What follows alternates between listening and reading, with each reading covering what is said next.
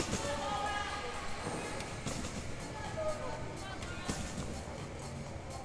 a woman from Lille, Laura Gallagher from Great Britain.